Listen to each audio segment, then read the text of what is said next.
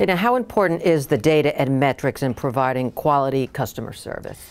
The data and the metrics are critical because it's the way to measure. Uh, I know I'll walk into customer support centers or service centers, and oftentimes you'll see screens up on the wall, and those screens up on the wall might be are, different metrics associated with the various things that they're measuring on a day-to-day basis. So uh, I know in an instance that I'm referring to, they'll usually have a big pie chart, and the pie chart will show kind of green, yellow, and red. Um, the green are those issues that have been resolved for the day. The yellow are those in progress, and the reds are those that had to be carried over or still are unresolved.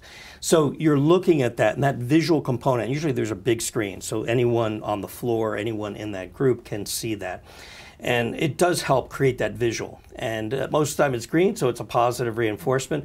But it also shows you if there's a yellow or red, a manager or someone else can step in, take a look at it, look over the shoulder, help resolve the issue. But those metrics are always a good visual to kind of uh, keep the floor and keep the, the team uh, focused on, on what matters.